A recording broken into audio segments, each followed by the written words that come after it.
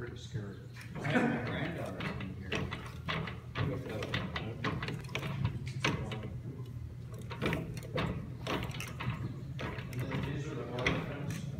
Yeah, what are you doing